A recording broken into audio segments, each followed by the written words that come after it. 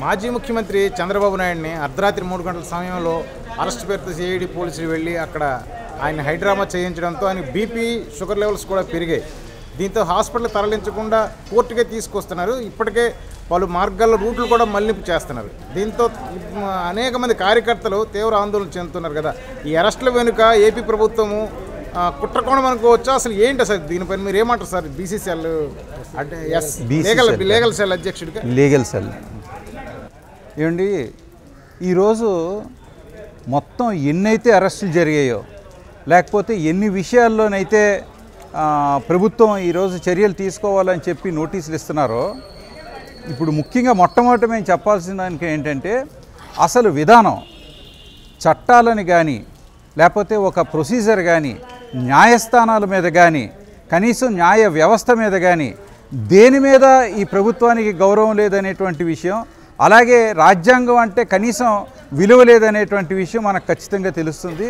ఈరోజు ఇంతవరకు చేసిన అరెస్టుల్లో ఎక్కడా కూడా అది ఎవరైనప్పటికీ కూడా అరెస్ట్ అనేటువంటిది చేయాలంటే ఆ అరెస్ట్ ప్రొసీజర్ కానీ అరెస్ట్లో ఫాలో అవ్వాల్సిన సెక్షన్స్ కానీ వాటిలోనున్న అమెండ్మెంట్స్ కానీ వాటిలో న్యాయస్థానాలు పదే పదే కాన్స్టిట్యూషన్ కోర్ట్స్ దగ్గర నుంచి మెజిస్ట్రేట్ కోర్ట్స్ వరకు పోలీసుల్ని అధికారుల్ని స్ట్రిక్ట్గా వార్నింగ్ ఇచ్చినప్పటికీ కూడా కోర్టులు వాళ్ళు ఇదే పనిగా దన్ను చూసుకొని ఈ ప్రభుత్వం ఏం చెప్తే అది చేయడమే.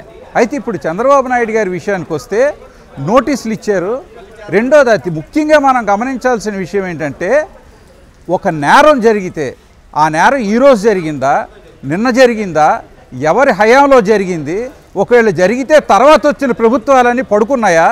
అసలు ఏ ప్రభుత్వం విషయం ఏ ప్రభుత్వం కారణంగా ఇవి జరిగాయి అందులోని ఒక వ్యక్తి తాలూకు ఇన్వాల్వ్మెంట్ ఎంత అంటే కొన్ని కేసెస్లో ప్రైమాఫెసి ఇన్వే కేసు ఉండాలండి. అంటే ముందు ఇన్వెస్టిగేషన్ అనేటువంటి జరగాలి. అలాగే నోటీసులు ఇచ్చారు. ఓ పక్క నోటీసులు ఇచ్చారు ఓ పక్క ఇన్వెస్టిగేషన్ అంటున్నారు. రెండోది వాళ్ళ జ్యూరిస్డిక్షన్స్ ఉన్నాయి. వీటిని వేటిని గమనించకుండా ఈరోజు ఆ నోటీసులకి రెస్పాండ్ అయ్యే లోపుని అర్ధరాత్రి ఎప్పటికిప్పుడు అరెస్టులు చేయాల్సిన అవసరానికి కారణము చెప్పలేదు. అసలు అరెస్ట్ అనేటువంటిది ఎలాంటి నేరాల్లో అర్ధరాత్రి చేయాలండి? దాన్ని కూడా గమనించాలి కదా.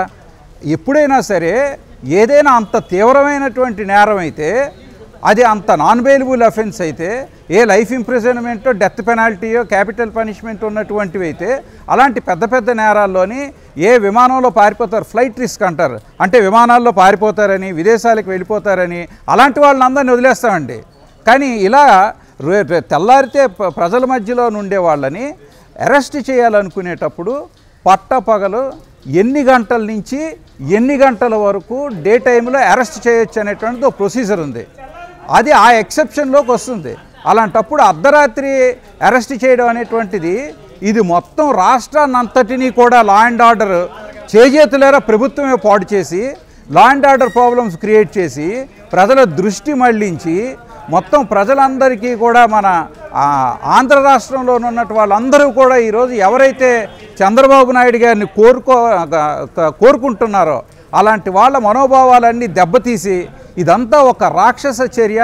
ఇదంతా కూడా ఒక పైశాచికమైనటువంటి ఆనందం పొందడానికి వాళ్ళ సాటిస్ఫాక్షన్ కోసం చేస్తున్నటువంటి చర్యలు తప్ప అసలు మొత్తం ప్రొసీజర్ టోటల్గా ఈరోజు ఖచ్చితంగా చెప్తున్నామండి. మేము దీన్ని హైకోర్టు సుప్రీంకోర్టు ద్వారా ఖచ్చితంగా ఈ రోజు వరకు జరిగినటువంటి ఒక్క చంద్రబాబు నాయుడు గారే కాదు మొత్తం అరెస్టులు ఎన్ని జరిగాయో ఆ అరెస్టులు అన్నిటిలోని కూడా ప్రతి అరెస్ట్లో జరిగినటువంటి తప్పుడు విధానాలు ఏవైతే ఉన్నాయో ఫ్రేమింగ్ ఆఫ్ ఫాల్స్ ఛార్జెస్ అలాగే ఫాల్స్ ఇన్ఫర్మేషన్ కింద పబ్లిక్ సర్వెంట్స్ తాలూకా డెరిలేషన్ ఆఫ్ డ్యూటీ కరప్షన్ కింద తగిన సెక్షన్స్ కింద ప్రతి అధికారిని అరెస్ట్ చేసేలాగా కోర్టు నుంచి తగిన చర్యలు తీసుకుంటామని చెప్తున్నాం. అందువలన ఖచ్చితంగా చంద్రబాబు నాయుడు గారి ఆరోగ్యానికి కానీ చంద్రబా చంద్రబాబు నాయుడు గారికి ఏ రకమైనటువంటి హాని కలిగినా కానీ ప్రాణహాని ఉన్నటువంటిది కూడా పట్టించుకోకుండా ఈరోజు చేస్తున్న ప్రవర్తనకి ఖచ్చితంగా మేము నలభై ఎనిమిది గంటల్లో తగిన చర్యలు కోర్టు ద్వారా తీసుకుంటామని నేను తెలియజేస్తున్నాను.